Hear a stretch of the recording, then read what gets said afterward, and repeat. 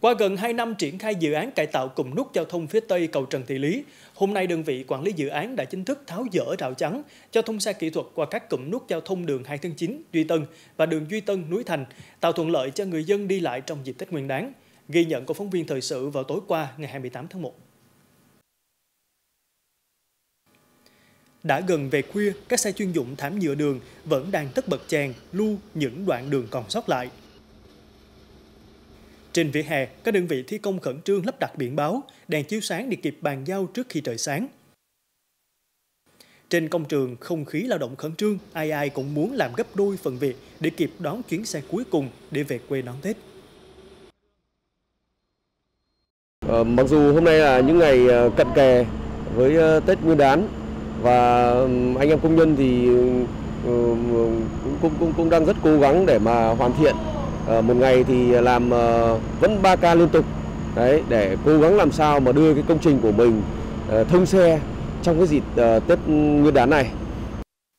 Theo ban quản lý dự án cải tạo cùng nút giao thông phía Tây cầu Trần Thị Lý, trong những ngày cận kề Tết, các đơn vị tập trung cao độ, huy động mọi phương tiện làm việc 3K 4 kiếp, với quyết tâm sáng 29 tháng 1, tức 27 tháng Chạp, phải thông xe kỹ thuật qua các nút 2 tháng 9, Duy Tân và Duy Tân, Núi Thành để giảm tải phương tiện lên cầu vượt và tạo thuận lợi cho người dân đi lại theo cam kết với chính quyền thành phố để động viên cán bộ công nhân ở lại làm việc đến ngày cuối cùng để kịp tiến độ thông xe theo kế hoạch.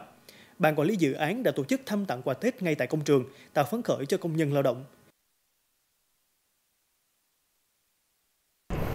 Hiện nay đối với cái dự án cụm nút giao thông Đồng Thị Lý thì à, các nhà thầu đã triển khai thi công đến cơ bản là đạt trên 95% khối lượng. Hiện nay à, ban quản lý dự án đang đốc thúc các nhà thầu À, triển khai thi công các hạng mục, đặc biệt là các hạng mục à, về thông các tuyến đường ngang để phục vụ cho người dân đi lại trong dịp Tết. Thì à, cho 18 giờ tối hôm qua thì chúng tôi đã cho thông tuyến đường ngang núi Thành và hiện nay đang tiến hành thảm nhựa cái phần vòng xuyến dưới cầu vượt 2 tháng 9 và dự kiến cuối giờ ngày mai chúng tôi sẽ đưa vào vận hành khai thác để phục vụ người dân đi lại dịp Tết. Theo kế hoạch, sau Tết các đơn vị sẽ tập trung lát vỉa hè, trồng cây xanh và hoàn thiện để bàn giao toàn bộ công trình cho thành phố cuối tháng 2 năm 2022 theo cam kết và dự kiến sẽ tổ chức khánh thành nhân kỷ niệm 47 năm ngày giải phóng Đà Nẵng 29 tháng 3 năm 1975, 29 tháng 3 năm 2022.